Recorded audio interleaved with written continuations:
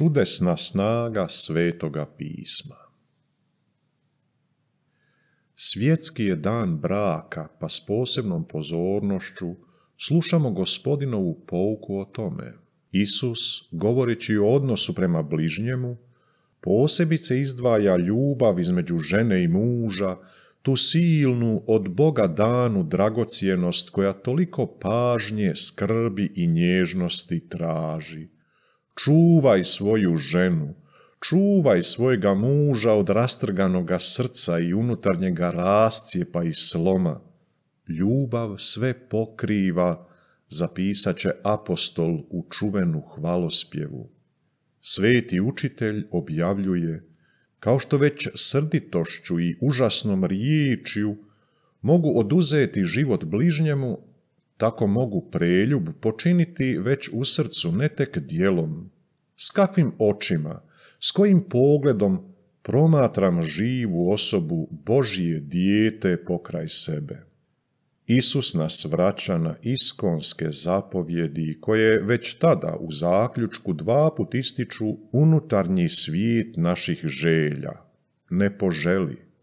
Ako onoga tko je moj u svom srcu odbacim, uklonim ga i zgazim, onda sam izložio vukovima i njega i sebe.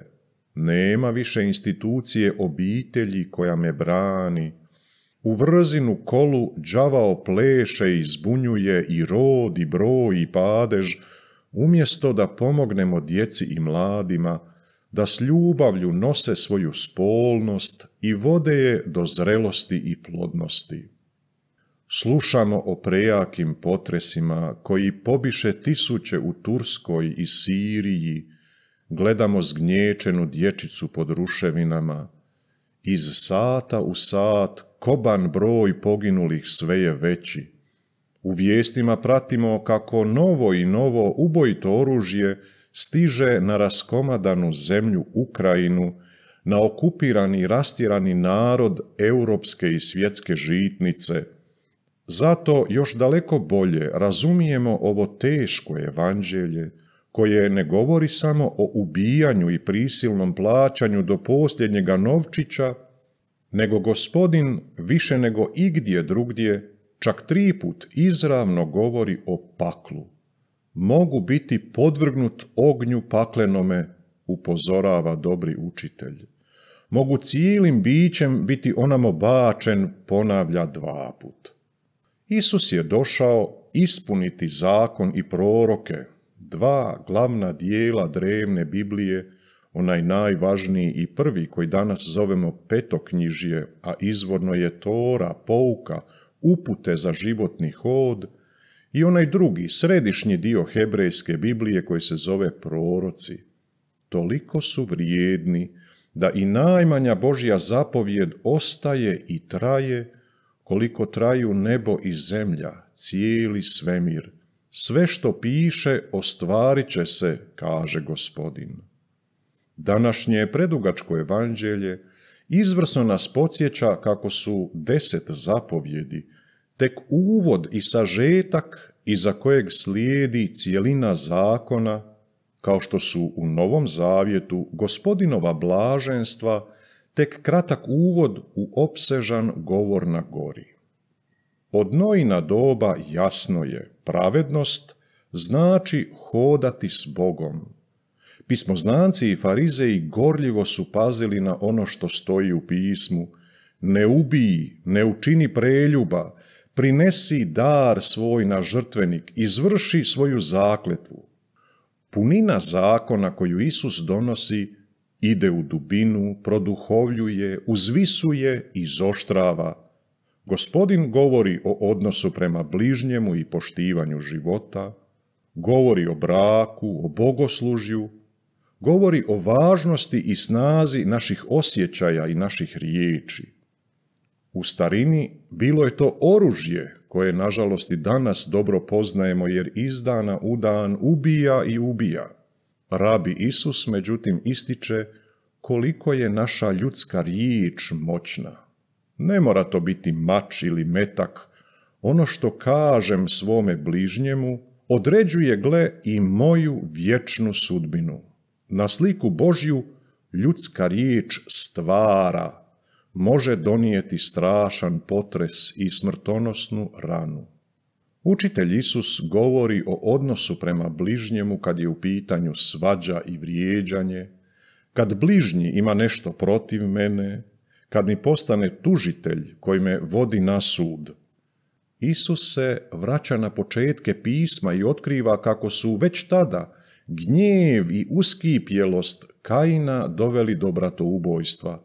Zato gospodin upozorava da je još prije teških riječi srditost opasna u Bibliji, jarost je Božja stvar i ne pripada čovjeku kao ni osveta.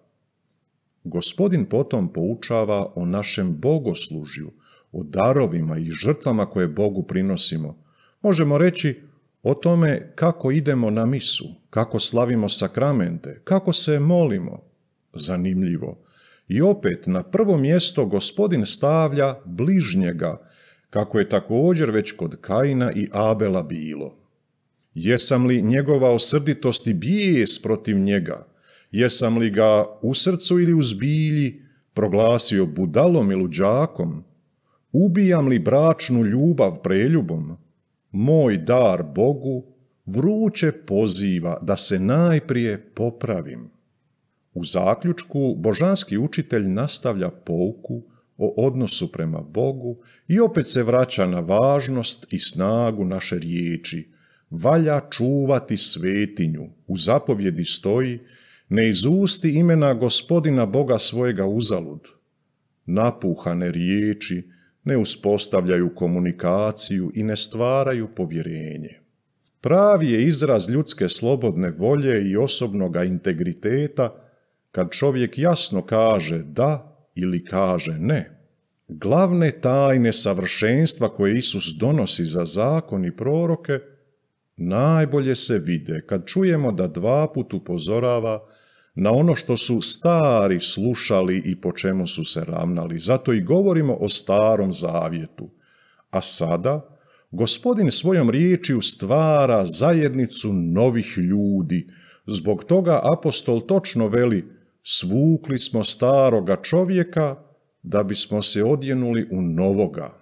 Vama, novima, ja govorim, tako smijemo shvatiti Isusove riječi. Osnovno obilježje novoga čovjeka jest da pokraj njega nije netko nedefiniran, tuđi, dalek, nego to je tvoja sestra, tvoj brat, ponavlja Isus jedan, dva, tri, četiri puta. Stara zapovjed gledala je na ono što činim, a Isus usmjerava moj pogled i moje srce na onoga tko je pokraj mene. Riječ koju govorim, govorim je sestri svojoj, bratu svome. Ono bijaše pravednost starih, pravednost pismoznanaca i farizeja, koja će Isusa na križ odvesti, a ovo je nova Isusova svetost, sva natopljena Božjom ljubavlju. Što je današnja radosna vijest? Isusovo ispunjenje zakona i proroka. Gospodin objavljuje da možemo doseći pravu ljudsku veličinu, veličinu u kraljevstvu Božjem, ako sami izvršavamo ono što nam Bog po svojoj riječi kaže i ako takav naš život donosi dobronamjernu, razumljivu pouku drugima. Bog će nas nazvati velikima, daće nam veliko ime kako je već Abrahamu na davnom početku obećao. Riječ sestri, bratu, naslikuje Božju i umjesto svađe i suđenja, ja se mogu, o božanske li sile, pomiriti, nagoditi. Isus je doveo zakon i proroke do savršenstva. Sama sebe, kao pashalno janje Božje, prinosi kao dar na žrtveniku. Odatle ta silna moć pomirenja, mogu se sa svojom ženom, sa svojim mužem izmiriti i živjeti u miru.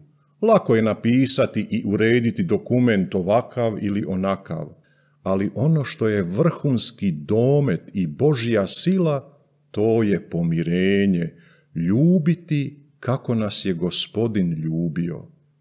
Dobrim poimanjem, dobrim duhom mogu izići ususret i onome koji me na sud goni da ga razoružam i zaustavim prije nego me preda egzekutoru. To je da koje čovjek kaže, da, ti si moja sestra, da, ti si moj brat, moje rođeno, moja krv. To je slavni da koji mladenci za sav život kažu jedno drugomu i tako sklapaju sakrament braka. To je ne paklu, a da jaganjcu Božjem, da koji mu i danas na ovom oltaru kažemo.